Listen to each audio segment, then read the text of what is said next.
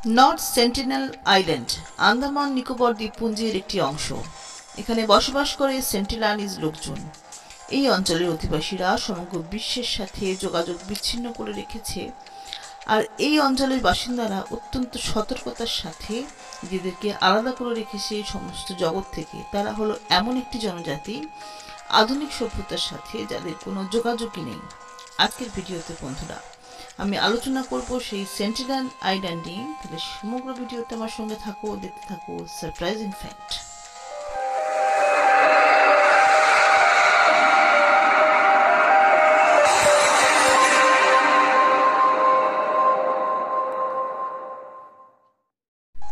North Sentinel Island এই দ্বীপ বঙ্গোপসাগর ও ভারত মহাসাগরের অন্যান্য দ্বীপগুলোর মতোই। এই দ্বীপ ষাট বর্গ কিলোমিটার আয়তন জুড়ে বিস্তৃত। কিন্তু আশ্চর্যের ব্যাপার হলো, এই দ্বীপে সাধারণ মানুষের প্রবেশ নিষিদ্ধ।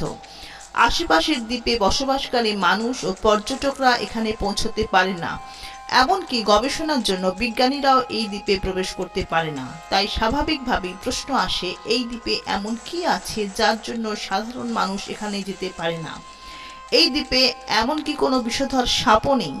আবার এই দ্বীপটি অভিশপ্তও নয় যে যে এখানে কেউ যেতে পারবে না। তাহলে আসল কারণটা কি?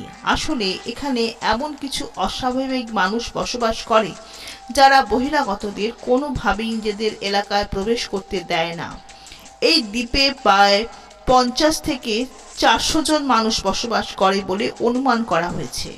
তবে সঠিক জনসংখ্যার পরিসংখ্যান দেওয়া সম্ভব নয়, কারণ আজ পর্যন্ত এমন ঘটনা ঘটেনি যে কোনো ব্যক্তি বা পর্যবেক্ষক দল ওই দ্বীপে গেছেন এবং ফিরে এসে জনসংখ্যার রিপোর্ট করেছেন। আর সেই কারণে আমরা শুধুমাত্র অনুমানই করতে পারি। এখানকার অধিবাসীরা লিখতে এবং পড়তে জানেন না।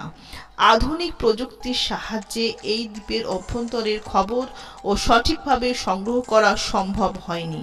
কারণ এই দ্বীপে রয়েছে গভীর জঙ্গল, তাই উপগ্রহের মাধ্যমে চিত্র সংগ্রহ করতে গেলে শুধুই সবুজ অরণ্যই দেখা যায়।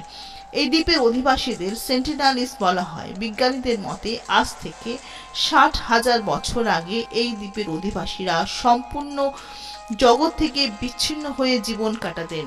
এই দ্বীপে বসবাসকারী বর্তমান বাসিন্দারা সমগ্র পৃথিবী থেকে বিচ্ছিন্ন। কোনো আধুনিক প্রযুক্তির সাথে তাদের কোনো যোগাযোগ নেই। এই দ্বীপ ভারত সরকারের অধিকারভুক্ত হলেও সরকার চেষ্টা করেও এই দ্বীপে প্রবেশ করতে পারেনি। কারণ পূর্বেই এই দ্বীপের বাসিন্দারা বহিরাগতদের নিজ এলাকা থেকে প্রবেশ করতে দেয় না। তারা এতটাই হিংস্র যে, কোনো নৌকা বা হেলিকপ্টার দ্বীপটির কাছে যাবার চেষ্টা করলেই তারা তীর বল্লম ছুড়ে মারে। পরাধীনতার যুগে ব্রিটিশরাও এই দ্বীপে আধিপত্য বিস্তারের চেষ্টা করেছিল। আঠারোশো আশি সালে দ্বীপ দখলের কৌশল হিসেবে ব্রিটিশরা এখানকার কিছু মানুষকে অপহরণ করে। ব্রিটিশদের উদ্দেশ্য ছিল তাদের ভালো খাবার দিয়ে আপ্যায়ন করে তাদের মন জয় করে দ্বীপ দখল করা। কিন্তু ব্রিটিশদের সেই চেষ্টা ব্যর্থ হয়, কেননা অপহরণ করার কিছু পরেই সেই দ্বীপের অধিবাসীরা দ্রুত মারা যায়। কারণ হিসাবে বর্ণনা করা হয়েছে যে, দুর্বল রোগ প্রতিরোধ ক্ষমতা। এর কারণ হিসাবে ধরা হয় তারা দীর্ঘকাল পৃথিবীর জনজীবন থেকে বিচ্ছিন্ন থাকার ফলে তাদের মধ্যে রোগ প্রতিরোধ ক্ষমতা এত কম যে সাধারণ সর্দি কাশিতেও তারা মারা যায়। বর্তমানের অতি আধুনিক যুগেও এই দ্বীপের মানুষ প্রাগৈতিহাসিক যুগে বসবাস করছে। সেন্টিনাল দ্বীপের মানুষ কৃষিকাজ করতে পারে না, এমনকি তারা আগুনও জ্বালাতে পারে না। দু হাজার চার সালে সুনামির পরে দ্বীপটি ব্যাপক ক্ষয়ক্ষতির মুখে পড়ে। সুনামির পর দ্বীপের অধিবাসীরা বেঁচে আছে কিনা তা জানবার জন্য ভারত সরকার হেলিকপ্টার পাঠিয়েছিল। কিন্তু অধিবাসীরা তীর ছুঁড়ে বুঝিয়ে দেয় যে সুনামির পরেও তারা অক্ষতই আছে।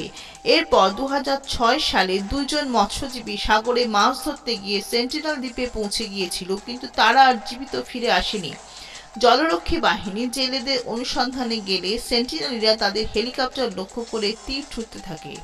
শেষ পর্যন্ত ভারত সরকার এই দ্বীপের অধিবাসীদের জীবনযাত্রা বাইরের জগতে প্রভাব মুক্ত রাখার সিদ্ধান্ত নেয় এবং দ্বীপের তিন কিলোমিটারের কাছাকাছি যাওয়া নিষিদ্ধ ঘোষণা করে। সেই থেকে সেন্টিনাল দ্বীপ বহির্জগতের কাছে একটি নিষিদ্ধ দ্বীপ। তাহলে বন্ধুরা শুনলে আন্দামান, নিকোবর, দ্বীপপুঞ্জ রোড কাছাকাছি অবস্থিত। এই সেন্টিনার নামক নিষিদ্ধ দ্বীপের কাহিনী কেমন লাগল আজকের ভিডিও অবশ্যই আমাকে কমেন্টস করে জানিও। ভালো লাগলে একটি লাইক করো আর তোমার বন্ধুদের সঙ্গে শেয়ার করে দিও। পুরনো বন্ধুদেরকে অসংখ্য ধন্যবাদ। আর নতুন বন্ধুদের বলব, যারা এখন আমার চ্যানেলে ভিজিট করছ, তারা আমার চ্যানেলটিকে সাবস্ক্রাইব করে আমার পাশেই থেকো। বেল বাটনটা বাজাতে একদম ভুলবে না। পরবর্তী ভিডিওগুলি নোটিফিকেশন পাওয়ার জন্য। আবার ফিরে আসবে নতুন নতুন ভিডিও নিয়ে। সকলে খুব ভালো থেকো। ভিডিও দেখার জন্য এতক্ষণ পর্যন্ত আমার সঙ্গে থাকার জন্য তোমাদের সকলকে অসংখ্য ধন্যবাদ।